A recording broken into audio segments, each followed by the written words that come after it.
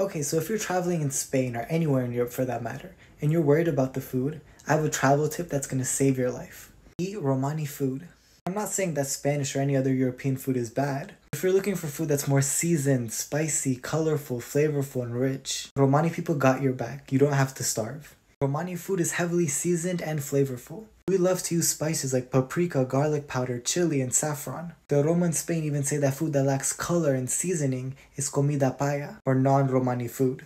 Since Spain has a huge Romani population, you can find Romani food wherever you go. All you have to do is search comida Romani, comida gitana, or comida del pueblo callo on Google and see all the amazing spots near you. Or go to the Romani barrios or neighborhoods like Sacromonte or Triana. You could eat traditional foods of the region that are more rich and spicy. You don't have to suffer, Romani cuisine is right there.